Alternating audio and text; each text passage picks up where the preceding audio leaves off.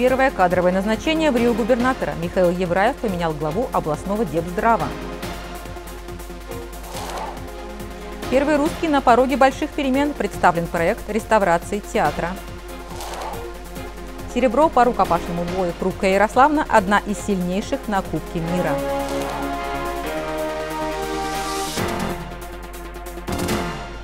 Здравствуйте! В эфире «Время новостей» городского телеканала в студии Анна Лазоркина.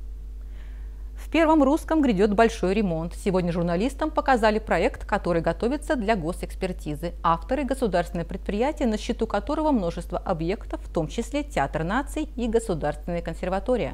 Марина Смарагдова отправилась на пресс-конференцию, чтобы узнать масштаб переделки.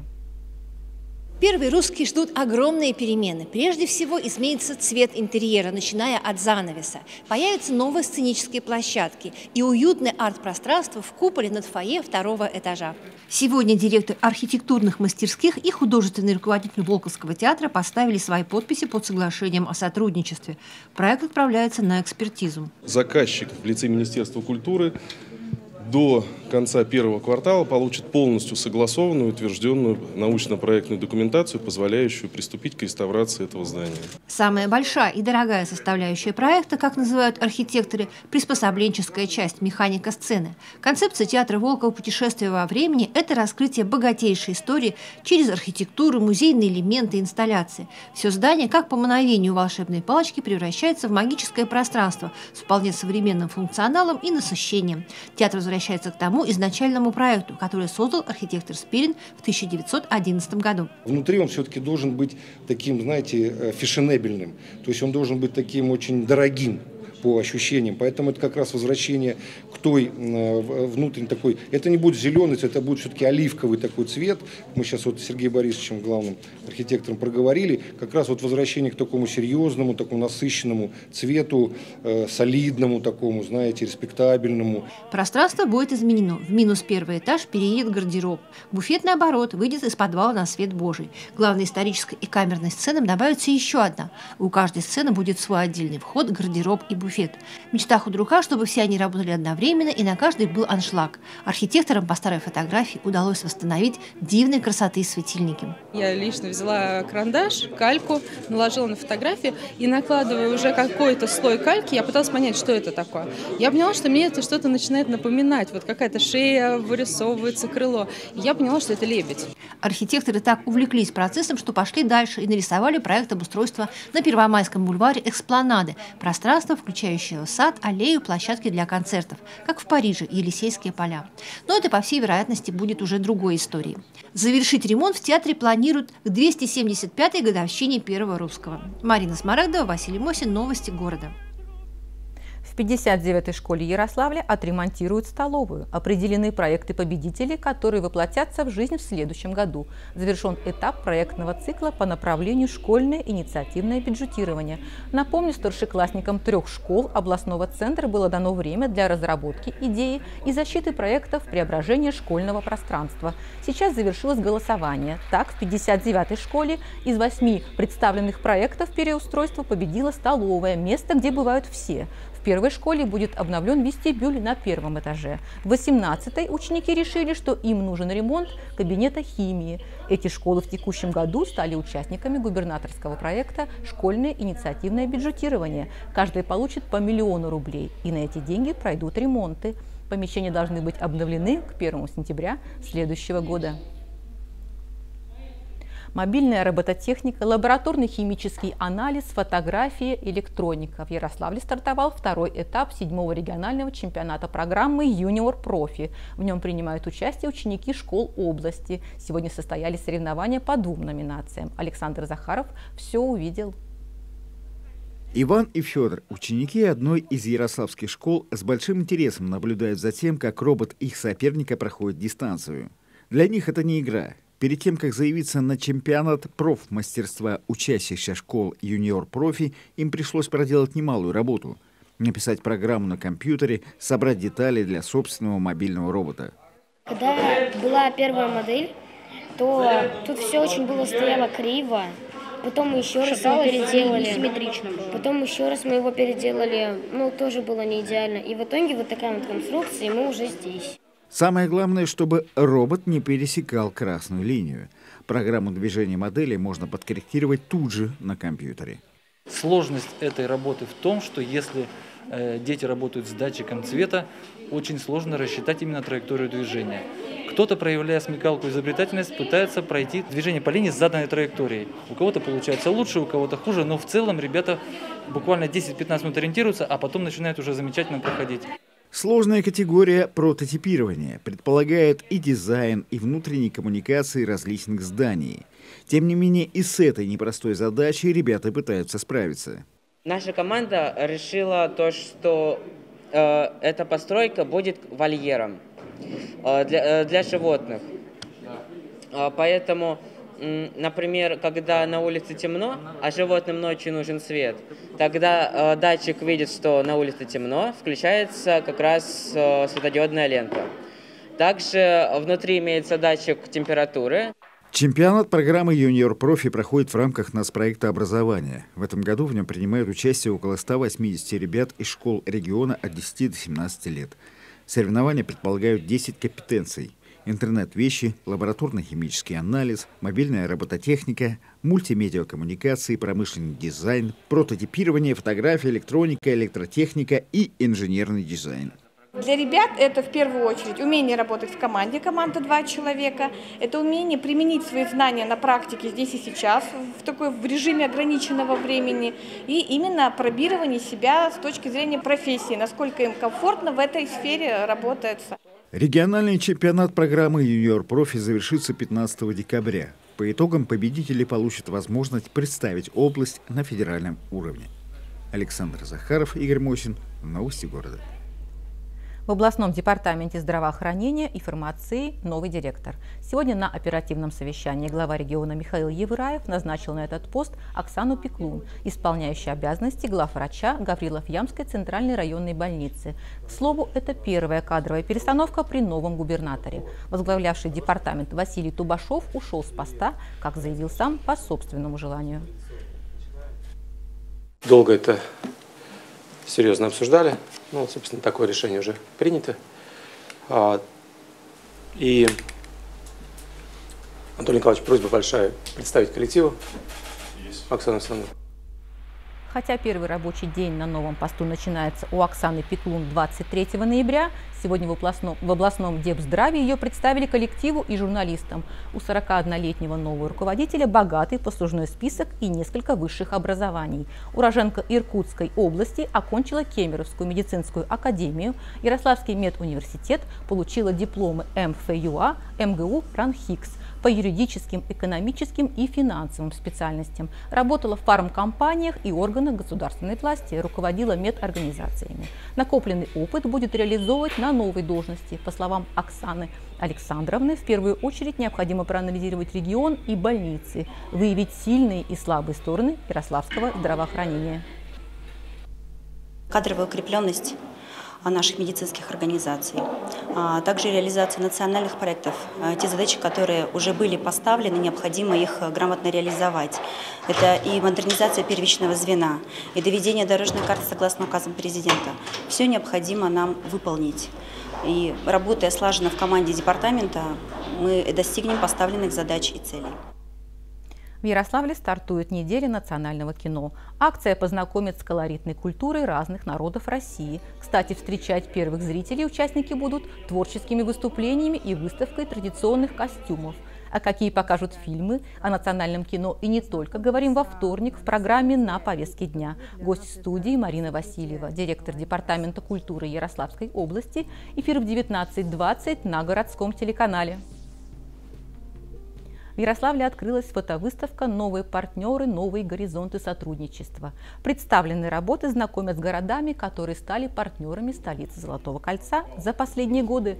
Культурный обмен между словацким городом Дубница над Вагом, болгарским Бургасом и Ярославлем перерос в соглашение о сотрудничестве в 19-м. Сейчас в мэрии представлены 15 фоторабот. На них пейзажи, передающие атмосферу Дубницы над Вагом и Бургаса. В следующем году фотографии перейдут в музей истории города Ярославля. Последние пять лет города обмениваются опытом. Возможно, в недалеком будущем станут побратимами. Одновременно это и общение по изучению опыта городского управления, что тоже немаловажно, потому что нам, как руководителям, всегда интересно тот опыт, который накопили города. Потому что проблемы одни и те же в любом городе. Да?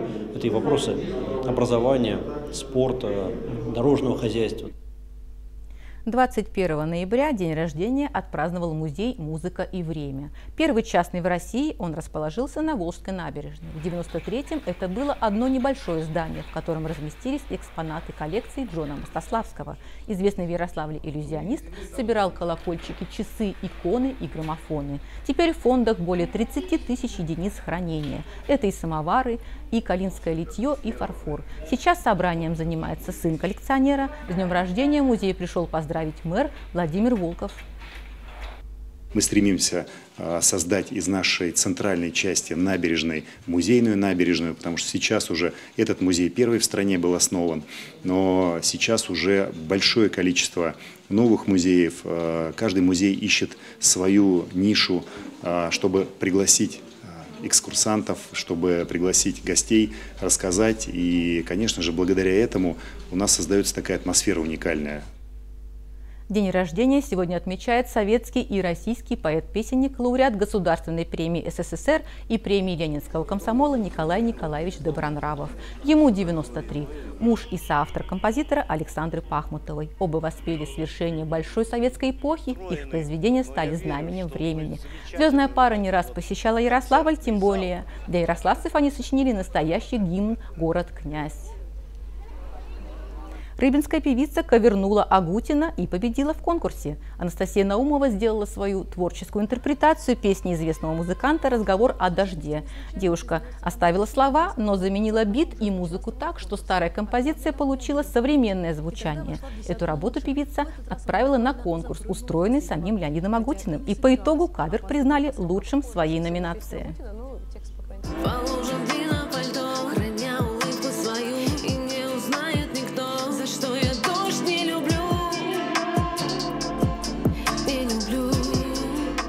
Жители трехэтажки по улице Карла Липнихта устали устранять последствия коммунальных аварий, менять обои и полы. Квартиры на первом этаже систематически топят из-за засорившихся труб. По крайней мере, такую причину называют сами люди. Последнее ЧП буквально накануне. Нечистоты потекли в квартиры, а запах распространился по всему дому. В проблеме жильцов разбиралась Валерия Сыромятникова. Время 11.45. Вот так вот все течет. 21 число сегодня, 21 ноября. Речки текут. О том, что произошла очередная авария на трубах канализации, жители трехэтажки по улице Карла Липнихта узнают сразу. Вода просачивается в их квартиры на первом этаже, а у одной из собственниц Светланы Румянцевой ресурс в буквальном смысле бьет ключом, зловонным. Запах стоит. Вот сегодня уже нету. Вчера вообще дышать нечем было. Это ну, понимаете, канализация воняет. Я вот делала заявку в 7 утра. Они приехали, аварийка, только без 10 час ночи. Уже следующего дня получается. Посмотрели, открыли унитаз, посмотрели. Так у вас не течет. Я говорю, так время-то вы знаете сколько. Люди спят, водой не пользуются, вот и не течет. Топит практически каждую неделю, начиная с августа, утверждают люди. Каждый раз причины разные, говорит Ярославна. То засор на наружных сетях, то проржавела труба под домом. Ему, кстати, более 60 лет, столько же коммуникациям. Гниль и плесень здесь уже постоянные соседи. У соседей тоже все течет, он, видите, уже вся стена. Только заходя в подъезд, чувствуется запах сырости. Жители рассказывают, буквально пару дней назад здесь стояла лужа, и внизу стены до сих пор мокрые. Тогда же в доме побывала комиссия, в составе которой были представители управдома и водоканала. Специалисты последнего исключили свою причастность к потопам. Таков ответ на официальный запрос. Специалисты водоканала выезжали на место с целью определения причины засора. По результатам проверки было установлено, что наружные сети работают исправно, засоров на наружных сетях канализации не обнаружено. Подтопление происходит из-за неисправности внутренних канализационных сетей. За внутренние сети отвечает управляющая компания. Представители управдома причину, названную водоканалом, не исключают, но источник нашли только под вечер. Ответ прислали тоже в письменном виде. Сегодня в ходе промывки системы специалисты управдома ликвидировали очередной засор. Кто-то из жильцов дома безответственно спустил в канализацию тряпку, которая забила стояк. Канализационные стоки не предназначены для транспортировки и утилизации бытовых отходов, бумаги, в том числе гигиенической. Также не исключаются в качестве причин подтопления дефекты и нечищенные засоры на внешних сетях. Как пояснили нашей съемочной группе в управдоме, на этом проверки не закончатся. Завтра в дом повторно придут специалисты, чтобы вновь обследовать канализацию. Между тем, говорят работники компании, чтобы подобных аварий стало меньше, собственникам необходим капремонт систем водоснабжения и водоотведения. Подобное решение принимается на общем собрании жильцов вместе с управляющей компанией. Валерия Соломятникова, Денис Кауров. Новости города. 4 месяца исправительных работ и 20% от заработка в доход государства. Такое наказание назначил Заволжский районный суд Ярославля мужчине, который ударом кулака убил пенсионера. Трагедия произошла в марте 20-го в одном из магазинов на Нижнем поселке. 80-летний ярославец после удара упал и сильно ударился головой об пол. После скончался в больнице. Участника конфликта 46-летнего местного жителя искали несколько месяцев. Возбудили уголовное дело по статье «Причинение смерти по неосторожности неосторожности. В октябре оправдали за отсутствием в его действиях состава преступления. В апреле 21-го областной суд отменил приговор и отправил дело на новое рассмотрение. Теперь наказание все-таки последовало. Массовое ДТП, пожар на рынке и два несчастных случая, где пострадали маленькие дети. В минувшие выходные в Ярославле не обошлось без ЧП. Подробнее в обзоре Валерии Сыромятниковой. Сломал ребра новорожденному сыну за плач. В Тутаеве задержан 20-летний горе-папаша, который изувечил своего месячного малыша. Молодой человек дал признательные показания. В настоящее время ребенок госпитализирован в детскую областную больницу. Его отец заключен под стражу. Четырехлетняя девочка погибла в лесу в Некрасовском районе. По данным регионального следственного управления, 55-летний мужчина с внучкой пошел пилить деревья. Одно упало на ребенка. Девочка скончалась на месте. По факту несчастного случая возбуждено уголовное дело. Позже следователями будет дана юридическая оценка действиям лиц, ответственных за безопасность ребенка.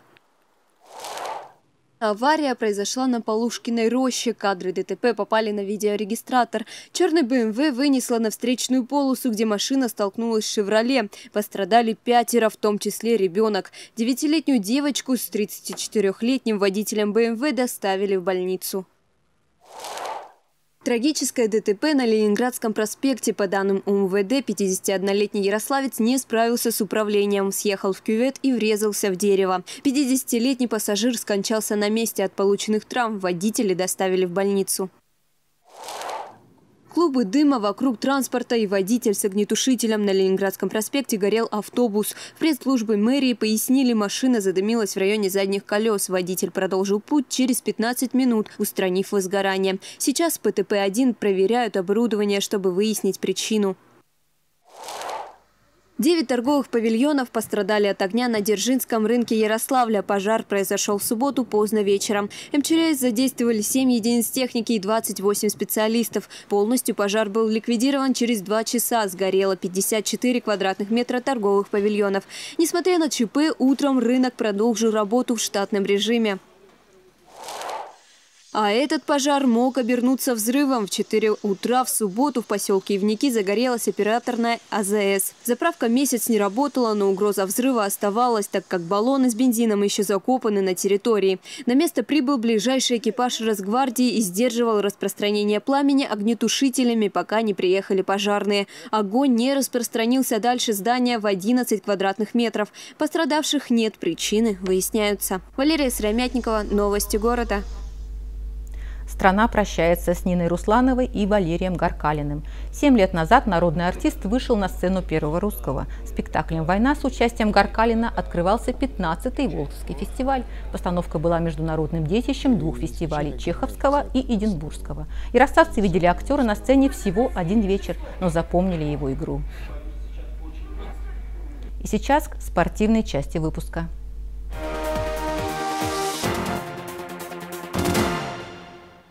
Забудьте о громоздких тренажерах. Ультратонкая беговая дорожка нового поколения Ямагучи – ваш свежий взгляд на здоровый образ жизни. Телефон 60 90 75 60 90 75. Серебро Кубка мира по рукопашному бою завоевала спортсменка из Углича. Турнир прошел в Москве и собрал 300 участников из 37 стран. Воспитанница спортшколы «Витязь» Татьяна Зуйкова в весовой категории 55 килограммов стала второй. Всего в копилке российских бойцов 9 золотых, 7 серебряных и 8 бронзовых медалей. Первое место в общекомандном зачете. Все могут ошибаться, и Даниил Исаев в том числе. Так прокомментировал игру вратаря в матче между Ярославским «Локомотивом» и Нижнекамским «Нефтехимиков» главный тренер железнодорожников Игорь Никитин. Ярославцы проиграли с минимальным счетом 1-0. В первом периоде игроки «Локомотива» взяли инициативу. После серии атак Максим Шалунов забросил шайбу. Гол отменили. Не прошло и минуты, как точным щелчком со своей половины площадки игрок «Нефтехимика» попал в ворота соперника. Следующая игра для «Локомотива» пройдет дома 24 ноября против Йокерит из Хельсинки. Все могут ошибаться, и Данил в том числе. Вот. Нет, ребят, наоборот, сразу подбодрили его. А, хотели исправить ситуацию, но, к сожалению, не получилось. Вот. А так, э, не, не столько с молодыми вратарями, с опытными такое случается, поэтому я думаю, что это нужно просто проанализировать и идти дальше. Поражение и победа в Санкт-Петербурге. В минувшие выходные Ярославич на выезде сыграл против местной команды «Автомобилист». В первый день состязания игра дошла до дополнительного гейма. Конец матча состоялся за питерским волейбольным кубком 3-2. В воскресенье Ярославич взял реванш 3-1. В следующие выходные наша команда встретится в Костроме с клубом «Волжанин». На Сахалине очень сильные осадки в виде дождя и мокрого снега. Ветер до 30 метров в секунду. Уровень воды в реках может подняться до полутора метров, предупреждают синоптики. Снежный циклон накрыл Хабаровский край. На нескольких трассах закрыли движение автобусов. Авиарейсы направляют на запасные аэродромы. Во вторник там прогнозируют тоже сильный снег, гололед, метель. В Иркутской области обещают морозы до минус 30 градусов, на Чукотке до минус 37. А что в Ярославле завтра?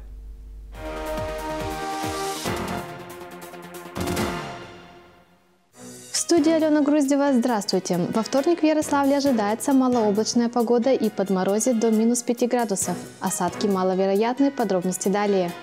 А в русском лесе евровагонка дешевле на 5000 рублей. Сроки условия акции уточняйте у продавцов. Во вторник ночью в Ярославле облачно с прояснениями, без осадков, температура минус 7 градусов. Ветер западный 4 метра в секунду, влажность воздуха 81%. Атмосферное давление 749 миллиметров ртутного столба. Во вторник днем в Ярославле облачно с прояснениями, временами небольшой снег. Температура минус 4 градуса. Ветер западный 3 метра в секунду, влажность воздуха 80%. Атмосферное давление 752 миллиметра ртутного столба. На этом у меня все. В студии работала Алена Груздева. Увидимся завтра.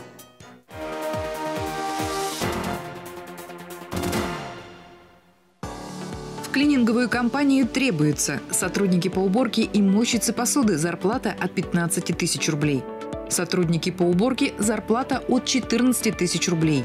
Телефон 8 920 119 19 80.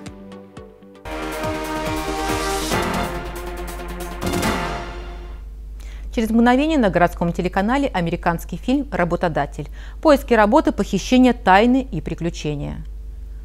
У меня на сегодня все. Наши новости также доступны на сайте gtk.tv и в пабликах во Вконтакте, Фейсбуке, Инстаграме. В студии работала Анна Лазоркина. Хорошего вечера и до встречи в эфире.